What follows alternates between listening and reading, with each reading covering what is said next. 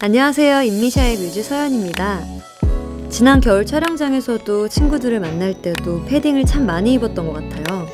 패딩은 겨울에 꼭 필요한 아이템이면서도 항상 아쉬운 점들이 있더라고요.